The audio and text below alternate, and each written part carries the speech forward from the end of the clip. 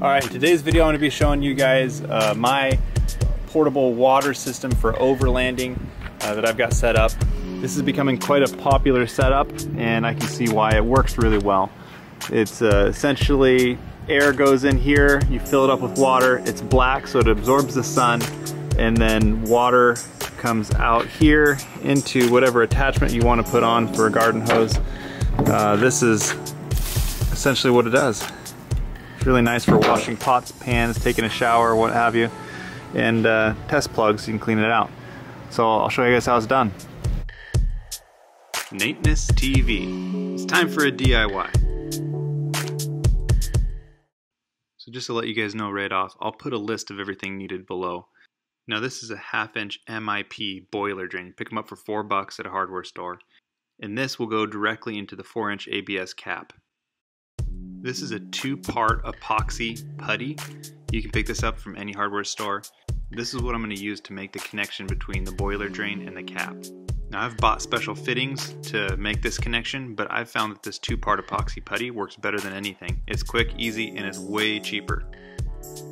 Once you get that boiler drain in there, then you're ready to hook up your garden hose. So I've got everything laid out here. This is kind of the design that I came up with that was going to fit my truck the best. Now every vehicle is different, so measure out your vehicle and decide how long you want it to be. This is a tire Schrader valve that I've got from O'Reilly's. You pick these up for a few bucks. And this is how I'm going to get air into the system to pressurize it. I chose to put the air valve at the top of my system. So that would be where the water fill is, right on the top of the cap. So now I need to make some cuts so I can start gluing this thing together. So I want this 4 inch cap to go right over this T. To do that I need a little piece of 4 inch pipe to go in there to hold them together. So I mark it and head over to the saw.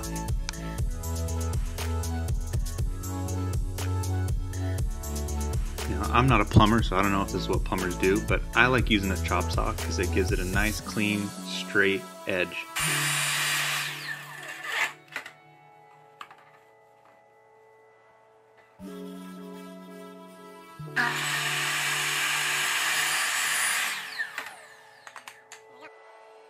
Once your cuts are made, make sure to clean everything up with some sandpaper to make sure there's no burrs left on your pipe.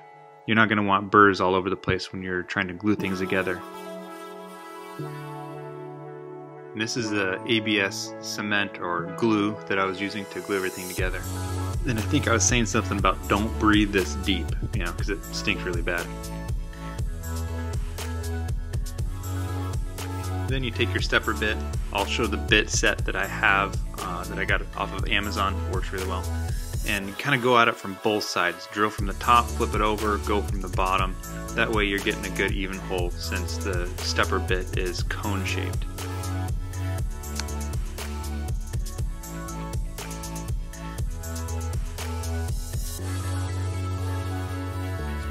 You don't want your hole any bigger than it has to be. You want it just big enough for the boiler drain to fit in there.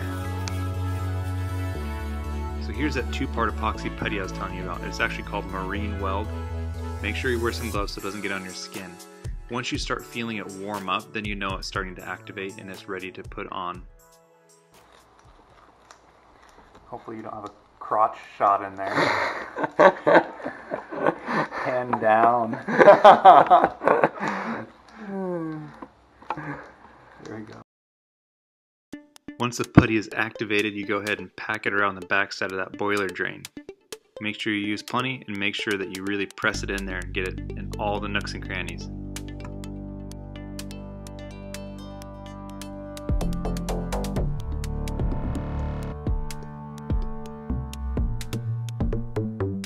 Once that's all packed in there, I'm going to let it sit before I start on the top side here. It's a good idea to let it cure to where you're not uh, ruining that bond that it's making on the other side. While that's drying, I'm going to go ahead and start gluing things together.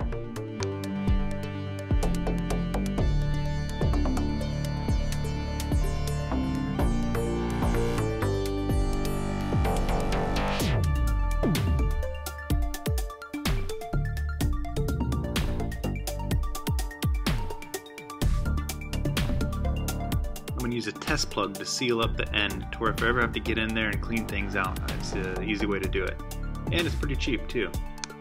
How test plugs work is you crank down on that wing nut on the top and it expands the rubber and makes it to where you, you can't pull it out. So here I'm just testing that out to make sure it's working right.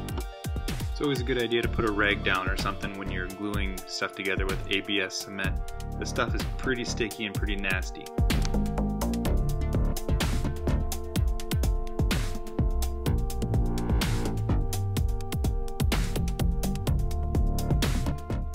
Plugs in, we're good to go.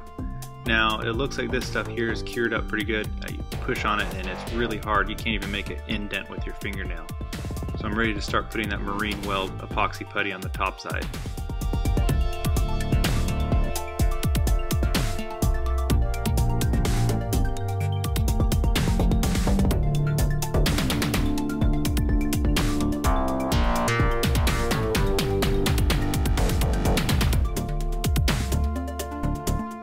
You might have a hard time getting it up underneath where the water comes out, but just get a screwdriver and jam it down underneath there really good.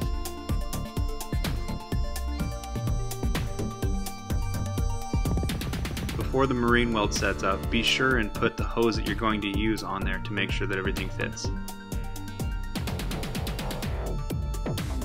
Okay, now I'm going to go ahead and glue on the water fill hole.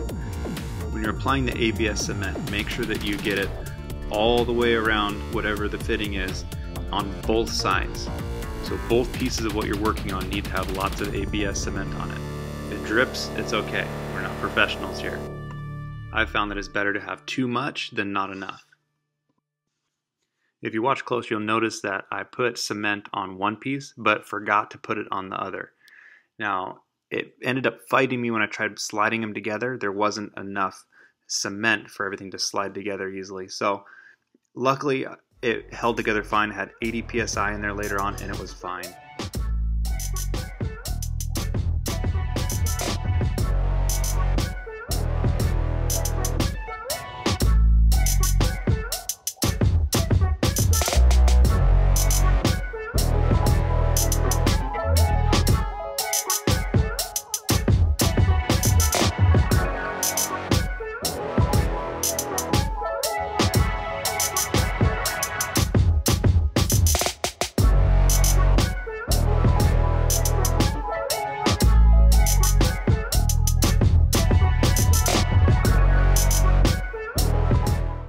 This part of things is so small, I really can't show you with the camera that we have here.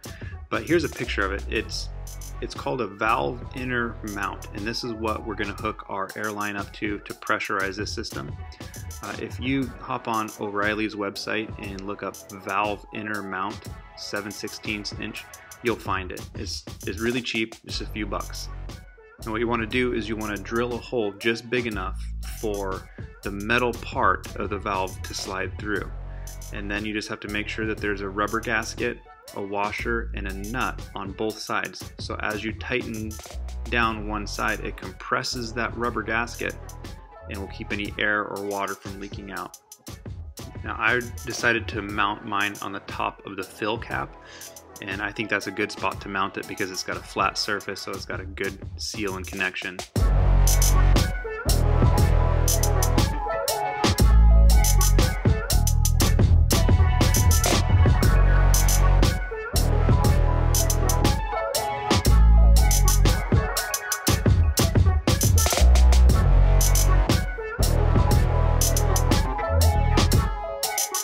Here's your two inch fill plug and it's got pretty coarse thread so you want to make sure to really put some good thread tape on it because you're dealing with water. I prefer the thread tape over the pipe dope uh, so that's what I would recommend. Alright, our two part epoxy marine weld is set up so now I'm going to take that piece that I cut earlier and go ahead and put these two pieces together. Put the cap on with the hose bib or the boiler drain, whatever you want to call it.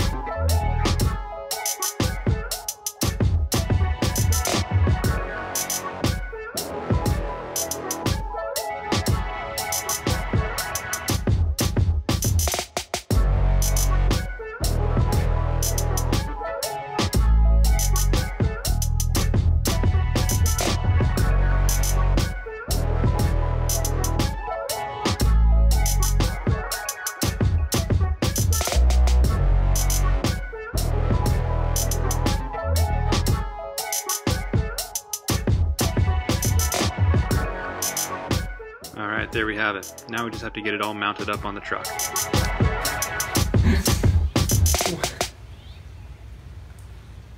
I swear, like, as soon as we get done, it's like pouring down rain. Well, it's not in that big of a rush. Looks like a bazooka. Alright, I'm going in the rain anyways. This is how it is here in this state.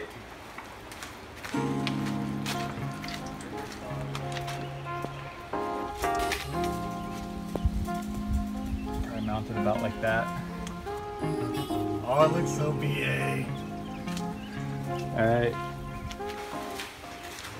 So all of the mounts are like ridiculously expensive. So I went to the store and I got these. These are called two hole strap for a four inch pipe. If you go into any electrical store, they'll know what that is. If you just say two hole strap for a four inch pipe, and then you can just take it right over top, and then you can just go right into your rack. So I'm going to cut some rubber strips and wrap it around with some super glue on the 4 inch pipe so that if there's any chafing that happens, it's going to have that rubber there to protect it.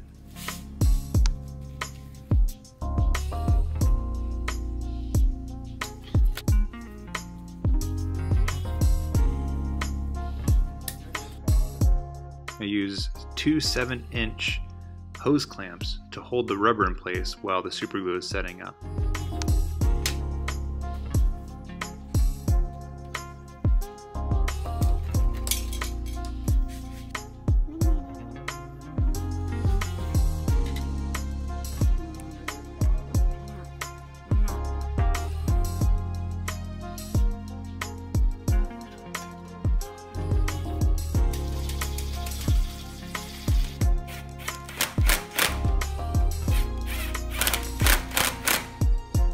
After the super glue dries for about 5 minutes, go ahead and take the clamps off.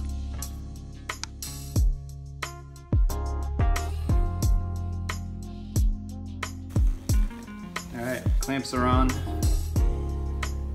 Everything's super glued.